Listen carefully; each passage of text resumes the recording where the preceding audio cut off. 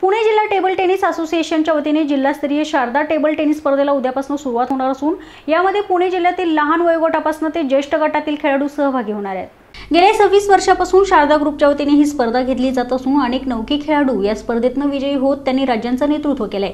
त्यामुळे दिवसेंदिवस टेबल टेनिसची व्याप्ती वाढावी नवीन खेळाडू तयार करून त्यांना ऑलिम्पिकपर्यंत नेण्याची संधी या स्पर्धेतनं दिली जाते असं राज्य टेबल टेनिस असोसिएशनचे अध्यक्ष राजीव बोडस यांनी पत्रकार परिषदेत सांगितलंय.